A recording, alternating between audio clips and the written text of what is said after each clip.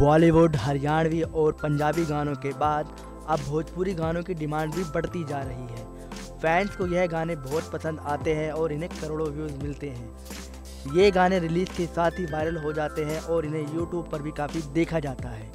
इन दिनों एक भोजपुरी गाने को यूट्यूब पर काफ़ी देखा जा रहा है, जिसमें पवन सिंह के साथ आकांक्षा शारदा और स्नेहा गरुड़ नज़र आ रही है। इस गाने में दोनों एक्ट्रेस उन्हें फंसाने की कोशिश कर रही है वहीं पवन सिंह उन पर यकीन नहीं कर रहे हैं। गाने का नाम है बदनाम कर दोगी। इसे अब तक सत्तानवे लाख बार देखा जा चुका है।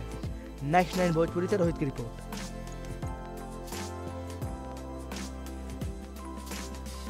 Next nine news Bhojpuriya के सब्सक्राइब करें और लेटेस्ट अपडेट खातिर बेल के आइकन वाला बटन दबाएँ।